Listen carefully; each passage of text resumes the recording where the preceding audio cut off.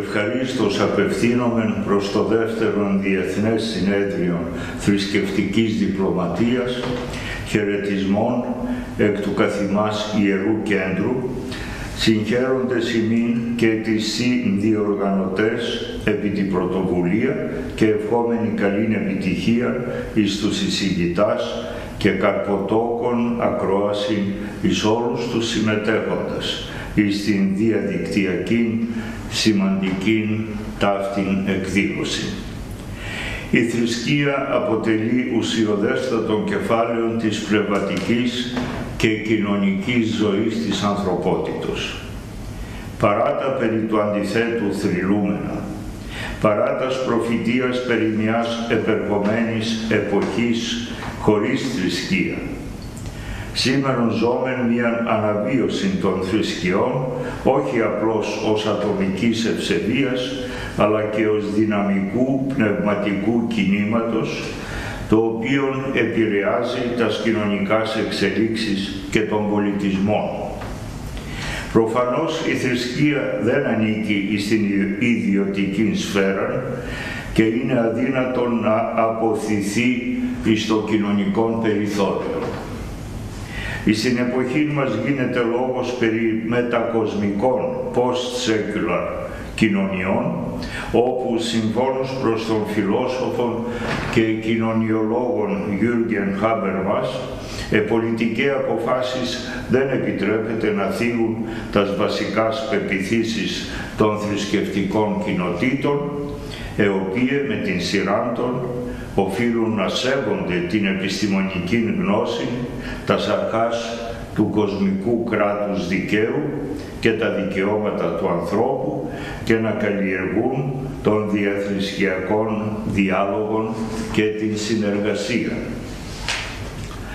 Σοβαρότατων εμπόδιων δια την ορθή αξιολόγηση του ρόλου της θρησκείας είναι επαρανοήσεις κυρίως εκ μέρους πολλών διανοωμένων, οι οποίοι ταυτίζουν λίαν ευχερός την ουσία του θρησκευτικού φαινομένου με τας αρνητικάς του εκφάσεις.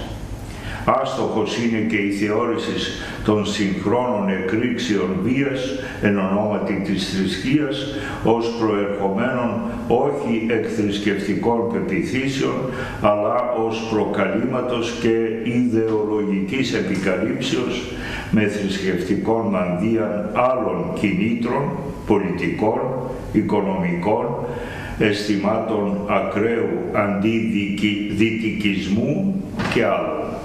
Σαφέστατα είναι αδύνατο να αγνοηθεί η ανθρωπιστική κριτική στην θρησκεία η οποία διατυπώθη με σκοπό την προστασία της ελευθερίας του ανθρώπου και των δικαιωμάτων του.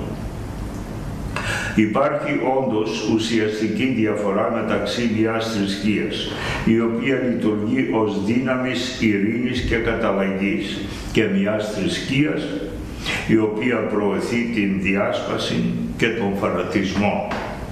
Εθρησκείες δίνανται να ενισχύσουν τον αγώνα δια την ελευθερία, την δικαιοσύνη και την ειρήνη. Είναι όμως εις θέση και να φανατίσουν, να τροφοδοτήσουν την επιθετικότητα, την βία και την μυσαλλοδοξία, να οδηγήσουν εις καταστροφικάς συγκρούσεις, για να επιβάλλουν την ειδική των αποκλειστικότητα στην κατοχή της αληθείας. Δεν αποτελεί ανακάλυψη του Σάμουελ Χάντιγκτον ότι η θρησκεία συνιστά το κεντρικό προσδιοριστικών χαρακτηριστικών των πολιτισμών, ούτε ότι η διαφορέ των πολιτισμών είναι προϊόν αιώνων, το οποίο δεν πρόκειται να εξαφανιστεί συντόμως από το προσκήνιο της ιστορίας. Το ζητούμενο είναι να λειτουργούν εθρησκείε ως παράγοντες συγκλήσεως, συνεργασίας και ειρηνικής συνυπάρξεως λαών και πολιτισμών. Αυτό επιτυγχάνεται κυρίως δια του διαλόγου των θρησκειών, ο οποίος αποκαλύπτει τα σκηνάς ανθρωπιστικάς καταβολάστων. αποτελεί αδιαμφισβήτητο γεγονός ότι οι μεγάλη θρησκεία ευρίσκονται αναφορικώς προς τα βασικάς ηθικάς και ανθρωπιστικάς των παραδοχάς εγκύτερον προς αλλήλας από όσων εις τας δογματικάς αληθείας. Εις το θέμα των κοινωνικών θεμελιωδών αξιών της ανθρωπότητος, παρά τας διαφωνίας εις την θεωρητική θεμελίωσή των, υπάρχει μία πρακτική συμφωνία η οποία πρέπει να προβάλλεται σήμερα εις όλας στας ειρηνοποιητικάς πρωτοβουλίας και τους διαλόγους. Στην διακήρυξη των Βρυξελών 20 Δεκεμβρίου 2001 ο λίγο μετά την τρομοκρατική βία της 11ης Σεπτεμβρίου στην Αμερική. Διάσκεψη των Βρυξελών την οποία είχαμε οργανώσει μαζί με τον εξοχότατον κύριον Ρωμάνο πρώτη.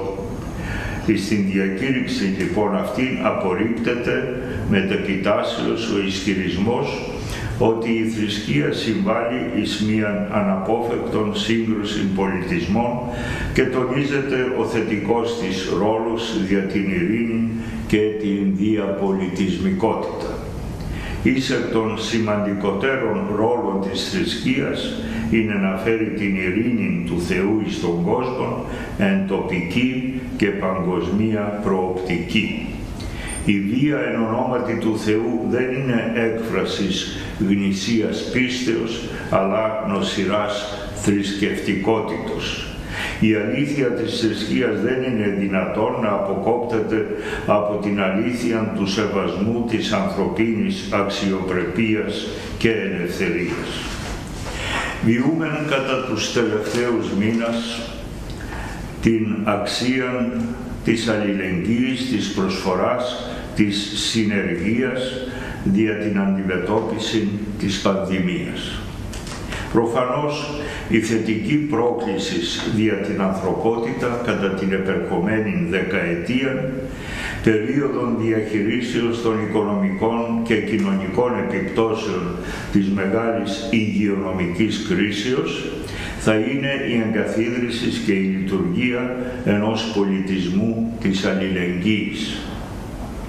Ο όρος αλληλεγγύη παραπέμπει ετυμολογικός εις το αίτημα να ευρίσκεται ο ένας εις το πλευρό του άλλου, να αναδεικνύεται ο πλησίον του, να μοιράζεται την ευθύνη δια των κόσμων με τον συνάνθρωπο. Η αλληλεγγύη η οποία παραπέμπει στην χριστιανική αδελφοσύνη οφείλει να καταστεί το λάβαρο της εποχής μας. Η παγκοσμιοποίησης ελειτουργήσε εις βάρος της αλληλεγγύης και οδήγησε στην συρρήγνωση των κοινωνικών κατακτήσεων και της κοινωνικής συνοχής και ευθύνης. Προφανέστατα η λογική της αγοράς και η ιδιονομία της οικονομίας ουδόλως αποτελούν μονόδρομων και απαράβατων όρων λυσιτελούς λειτουργίας της οικονομικής ζωής. Σκοπός της οικονομικής δραστηριότητας δεν είναι η μεγιστοποίηση της κερδοφορίας, αλλά το κοινό καλό, το οποίο προωθείται πρωτίστως δια της συνδέσεως των οικονομικών στρατηγικών με τα θεμελιώδης πνευματικάς, ηθικάς και ανθρωπιστικάς αρχάς και αξίας. Το Οικουμενικό Πατριαρχείο θα συνεχίσει τους διαθρησκιακούς διαλόγους και τον αγώνα του για την προώθηση της ειρήνης και της αλληλεγγύης.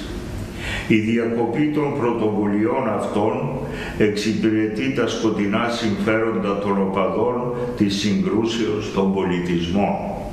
Είναι ιδιαίτερος προ προκλητικών να χρησιμοποιούνται εθνικίε άνευ αντιστάσεως προς εξυπηρέτηση εθνικιστικών και επεκτατικών επιδιώξεων αντί να λειτουργούν ως όχημα δια την ειρήνη και για να αποκτήσει αυτή ως περιεχόμενο την δικαιοσύνη και την αδελφοσύνη. Είναι βέβαιο ότι δεν υπάρχουν αυτοματισμοί στην πορεία προς ένα δίκαιο και ειρηνικό κόσμο. Η ειρηνική συμβίωση και η κοινωνική δικαιοσύνη δεν είναι αυτονόητο αποτέλεσμα της ανόδου του βιωτικού επίπεδου, της βελτιώσεως των οργανωτικών δομών, της προόδου της επιστήμης και της τεχνολογίας. Γνωρίζουμε άπαντες ότι στην σύγχρονη κοινωνία της πληροφορίας το διαδίκτυο χρησιμοποιείται συχνότατα για την διάδοση μίσους και θρησκευτικού φανατισμού. Η ειρήνη και αλληλεγγύη απαιτούν πίστη εις τον Θεό της αγάπης, αγώνα και εγρήγορση. Είναι ο στόχος και συγχρόνως η οδός προς Αυτόν. Εν το πνεύματι τούτο και εν βεβαία πεπιθήσει ότι το δεύτερο Διεθνές Συνέδριο Θρησκευτικής Διπλωματίας, το συνέδριό σας, με θέμα οι θρησκείες και οι προκλήσεις στη νέα δεκαετία θα αποτελέσει θετική συμβολή στον αγώνα δια την ειρήνη και την αδελφοσύνη, επευλογούμεν την ωραία αυτήν εκδήλωση, δεόμενη του Ενδριάδη Θεού, όπως χαρίζεται εις ημάς και εις τους προσφυλείς οικείους και συνεργάτας σας, υγείαν και κάθε άνωθεν ευλογία. Καλή επιτυχία.